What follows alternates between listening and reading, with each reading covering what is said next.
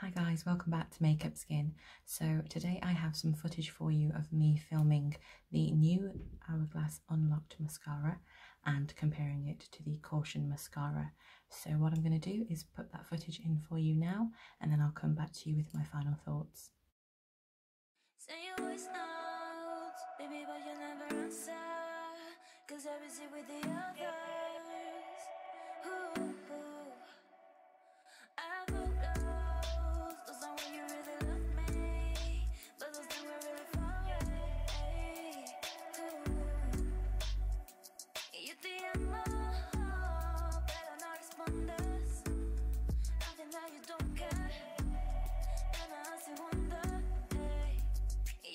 my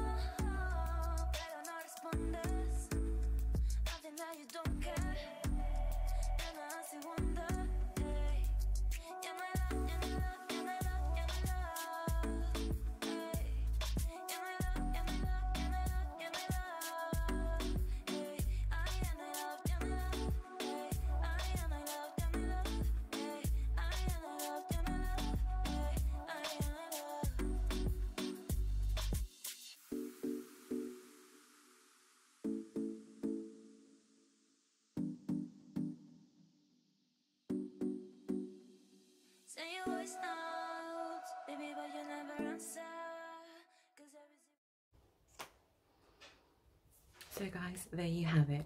That is applied live with no eyeliner. I'm still getting that false lash effect and it's a thumbs up from me. See you later.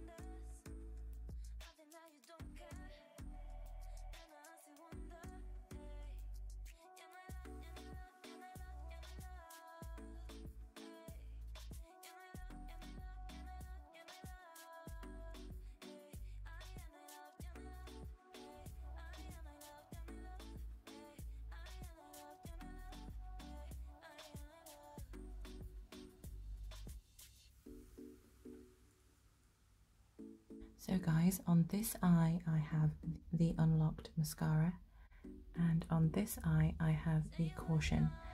This is for lengthening and lash extension effect and this is for length, volume and definition.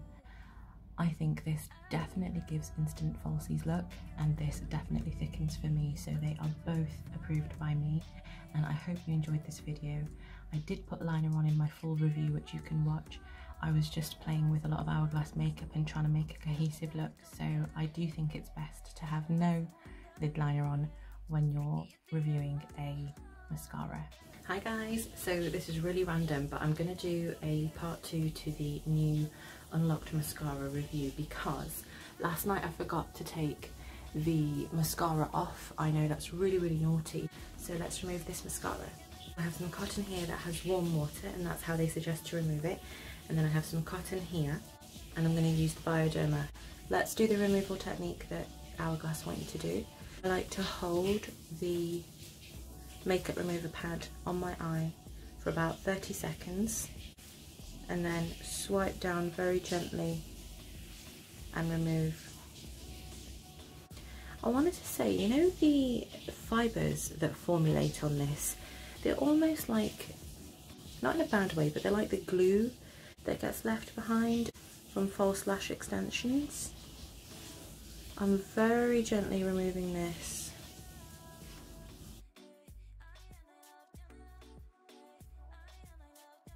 Water seems to be doing the trick. Look how fluttery they still are.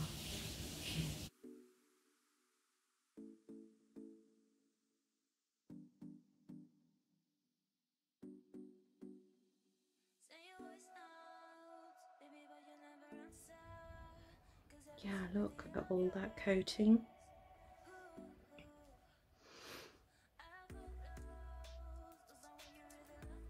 Be very gentle with your eye area.